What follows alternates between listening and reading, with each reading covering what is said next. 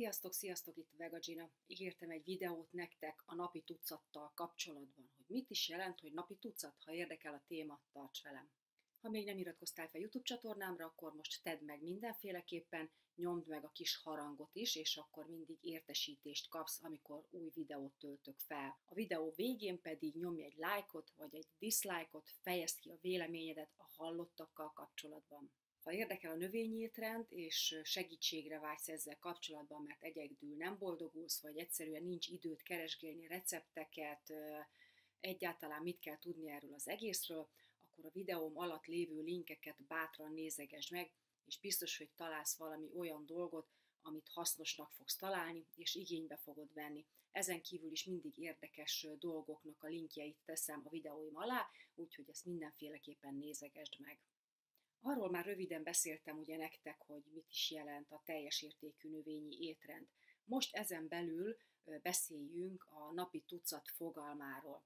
Ezt is az én Istenem, dr. Gregor találta ki, tudományos alapokra fektette az étkezésnek a, a legjobb formáját tulajdonképpen. Bátran nyomtast ki, és ízlelgesd, tanuld meg. Hát szóval nézzük. A legtöbb haláleset az Egyesült Államokban, és így Magyarországon is megelőzhető lenne, és összefügg azzal, hogy mit eszünk. Az első számú halálok Amerikában az amerikai étrend, Magyarországon pedig a híres magyar konyha. Sokan gondolják azt, hogy az életünk hossza génjeinkbe van programozva. Magas vérnyomás 55 évesen, infartusok 60 évesen, esetleg rák 70 évesen, és így tovább de a leggyakoribb halálokok többségénél a tudomány azt mutatja, hogy a gének csak a kockázat 10-20 százalékáért felelősek. Például, amikor az emberek egy alacsony egészségügyi kockázatú országból egy magasabb kockázatúba költöznek, a megbetegedéseik aránya szinte mindig igazodik az új környezethez. Új étrend, új betegségek de ez visszafelé is igaz. Ha a hagyományos amerikai vagy magyar étrendet követjük, majd egy teljes értékű növényekben, zöldségekben, gyümölcsökben gazdagabb étrendre váltunk, ez kevesebb betegséghez fog vezetni. Csupán a következő négy egyszerű egészséges életmódi tényezőnek hatalmas hatása lehet a krónikus betegségek megelőzésében.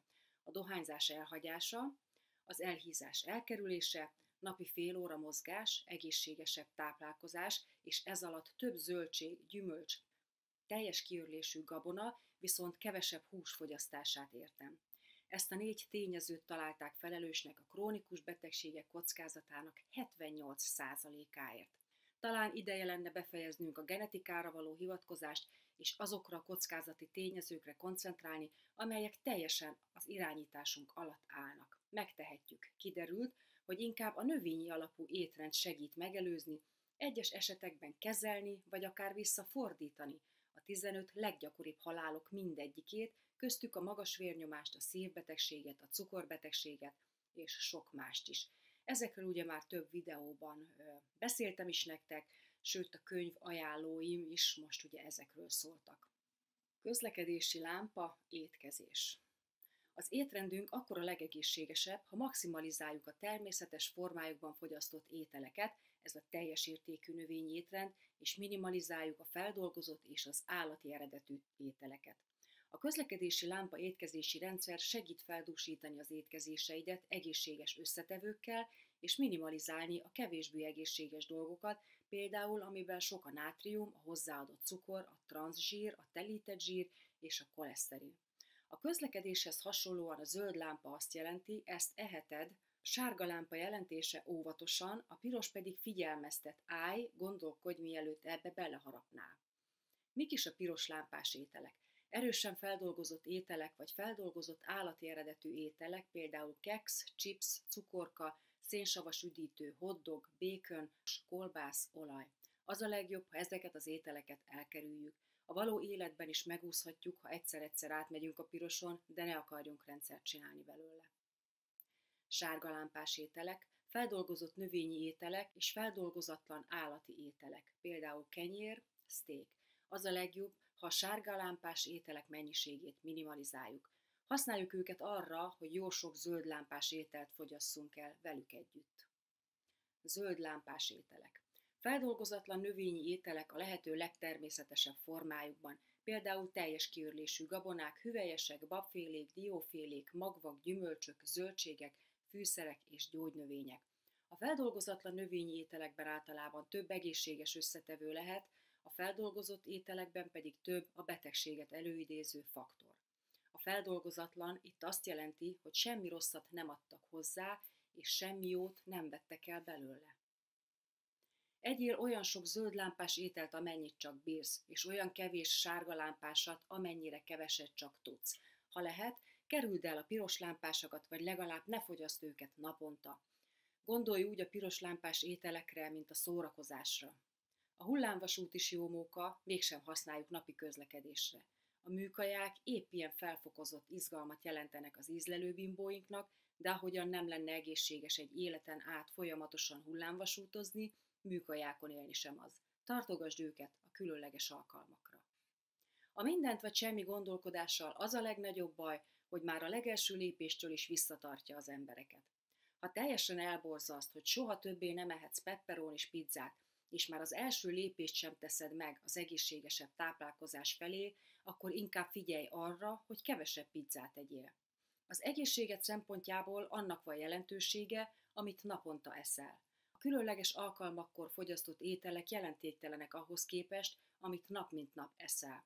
A tested bámulatosan képes felépülni az alkalmi sérülésekből, ameddig nem kezded el rendszeresen bántalmazni. A fekete-fehér, mindent vagy semmit gondolkodás helyett inkább arra figyelj, hogy az egészségesebb, zöldlámpás ételek kiszorítsák a legkevésbé egészséges fogásokat. Kezdj el megismerkedni dr. Greger honlapjával, ha gondot okoz az angol nyelv, akkor egyszerűen Google fordítóba tedd be a tartalmakat, illetve a napi tucatra vonatkozóan napi segítséget is kaphatsz, hogyha letöltöd dr. Gregernek ezt az ingyenes alkalmazását, mindenféle áruházban már meg tudod ezeket találni, és azon felül, hogy tudod, hogy mit fogyasztasz, be tudod jelölni minden áldott nap, hogy miből mennyit fogyasztottál. Csak egyetlen olyan étrend létezik, amely bizonyítottan képes visszafordítani a szívbetegséget a betegek többségénél, a teljes értékű növényi étrend. A déli dózen ellenőrző lista, magyarul napi tucat. A legkiegyensúlyozottabb, tudományos eredmények alapján dolgoztuk ki. Mint a menü vagy diéta helyett egy ellenőrző listát készítettünk, ami segít kiválasztani az egészséges ételek közül is a legegészségesebbet. Első látásra talán soknak tűnik, de nagyon könnyű egyszerre többet kipipálni belőle. Az ellenőrző lista segíthet kitalálni, hogy hogyan tudod az ételeidet még tápanyagdúsabbá tenni. Kérdezd meg magadtól, tudnék egy kis lenmagot vagy diót tenni ebbe az ételbe? Tudnék egy kis babot vagy zöldet dobni abba az ételbe?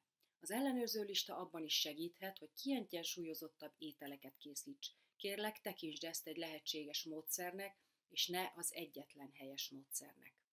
A déli dózent arra találtuk ki, hogy egy táplálkozási minimumként szolgáljon. Nyugodtan adj hozzá zöldlámpás ételeket a napi étkezéseidhez. Sportolók, növésben lévő fiatalok, várandós és szoptató anyukák, nagyon aktív életet élők bátran adhatnak további ételeket a déli dózon listájukhoz, vagy hogy elérjék a megfelelő kalóriabevitelt. Ha kétségeid vannak a tápanyagbeviteleddel kapcsolatban, keresd fel egy szakképzett dietetikust. Mit is jelent ez a napi tucat? Mindaz, amit a napi étkezéseinkbe bele kellene tuszkolni, hogy sokáig éljünk és egészségesek maradjunk. Itt látod a különböző kategóriákat, babfélék, bogyós gyümölcsök, gyümölcs, keresztes virágúak, leveles zöldségek, zöldségek, lenmag, diók és magvak, teljes kiörlésű gabonák, fűszerek, testmozgás, folyadék. Felsorolás melletti pipák azt jelentik, hogy napi hány adagot kell ezekből elfogyasztanod, illetve, hogy egy-egy adag mégis mekkora adagot jelent. Hogyan fogyaszthatsz több déli dózen ételt, babfélék? Teheted levesbe, csilibe, burítóba, salátába, szószokba, turmixöld össze fűszerekkel, és használt szendvicskrémnek vagy zöldségváltogatósnak. Ez esetben ugye egyszerűen kicsit hígabbra fogod elkészíteni. Babpüréből és zöldségekből remek krémlevesek készíthetőek.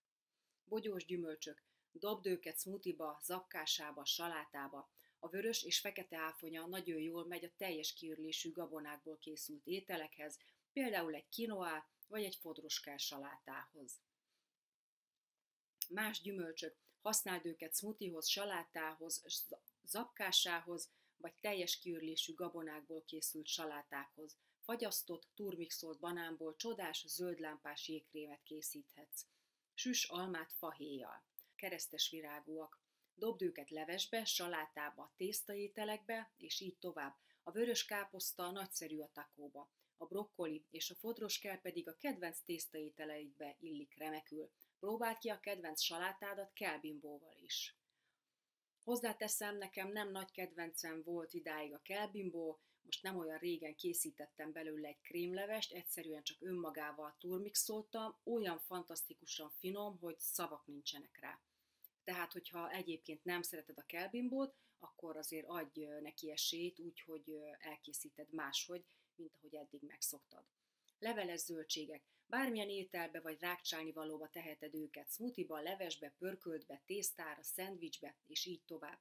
Ha két csészényi nyers fodros kell elrettent, darabolt fel, és főzd meg őket. Más zöldségek, Használd őket levesbe, pörköltbe, smoothie-ba, szendvicsbe, és így tovább. Mártogas kaliforniai paprika vagy sárgarépa csíkokat, zellelszárat vagy főcspárgát, avokádó krémbe vagy babkrémbe, vagy dob zöldségeket a smoothie-ba. Lenmag, keverj őrült lenmagot az apkásádba, smoothie-ba, saját készítésű salátöntetetbe, vagy egyszerűen szórd az őrült magokat az ebédet tetejére. Diók és magvak, használd őket smoothiehoz, salátához, zakkásához vagy tésztaételekhez. A kesudió, a napraforgó mag és a tahini jól illik krémes dresszingekbe, szószokba. Gyógynövények és fűszerek. Tegyél negyed evőkanál kurkumát a smoothie-ba, zapkásádba vagy a kedvenc ételedbe. Turmixold össze kesudióval, magozott datójával és egy kevés vízzel, ha szereted az új ízeket. Használhatod őket küriben és levesekben is. Teljes kiürlésű gabonák. Dobd fel a reggeli rutinodat egy tál hajdinával vagy kinoával. Adj egészben árpát, hajdinát, kinoát, tönkölybúzát, kölest vagy zaptöretet a levesethez és salátáthoz. Folyadék. Víz, a zöld tea és a hibiszkusz tea a legegészségesebb italok. Testmozgás legyen az bármilyen. Séta, futás, kerékpározás, úszás, evezés, aerobik, tánc, harcművészet, versenysport, joga. Keres magadnak egy biztonságos, örömteli aktivitást, és kezdj el mozogni. Elég tápanyaghoz jut, aki nem fogyaszt húst? Ennek megállapítására a kutatók 13 ezer ember napi étkezését figyelték meg az Egyesült Államok minden tájáról. Összehasonlították a húsevők tápanyagbevitelét a húsmentesen étkezők adataival. A tanulmány azt állapította meg, hogy az azonos kalóriabevitel mellett a húsmentesen táplálkozók szinte minden tápanyagból többhöz jutnak, mint a húsevők. Tudnunk kell, hogy a modern életmódunk miatt is hiányt szenvedünk egyes tápanyagokból, amelyeket pótolnunk kell. B12 vitamin például nem állítanak elő a növények, ez a vitamin a földet borító mikróba rétegben keletkezik, de a fertőtlenített modern világunkban klórral írtjuk ki a baktériumokat az ivóvízből, így nem jutunk elegendő B12 vitaminhoz a vízből, viszont nem kapunk kolerát sem szerencsére.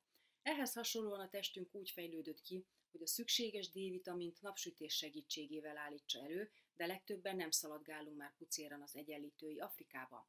Ha éjszakon, nyakig felöltözve, lakásban töltöd az idődet, akkor az étrendedet meg kell erősítened ezzel a napfényvitaminnal is. Most már megkaptad a szükséges tippeket az egészséges táplálkozásról, láttad dr. Gregor déli dózel ellenőrző listáját, és van róla elképzelésed, hogy hogyan tudsz összeállítani egy napi menüt a minták alapján, ezért mondtam a videó elején, hogy ha gondolod, akkor ö, nyomtast ki magadnak ezt a kis ö, dokumentumot, vagy egyszerűen a honlapját mensd el, és mindig ö, tudod használni. De hogyan fogod felhasználni ezeket az információkat a mindennapokban? Kezd egyszerűen.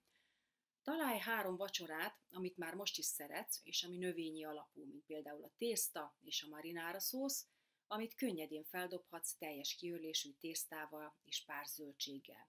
Találj ki három ételt, amit rendszeresen eszel, és átalakítható zöldlámpás étellé, például a marhahúsos csiliből csinálhatsz öt babos csilit, a húsos sajtos takóból babos zöldséges takót. Fedez fel új lehetőségeket, kölcsönös szakácskönyveket a könyvtárból, vagy csak googliz rá a teljes értékű növényi alapú receptekre. A több ezer találatból válasz ki hármat, amit azonnal meg is tudsz csinálni. Voilà, már is van kilenc vacsora lehetőséged, amit könnyedén tudsz variálni, így már könnyű lesz tovább lépni a reggelire és az ebédre.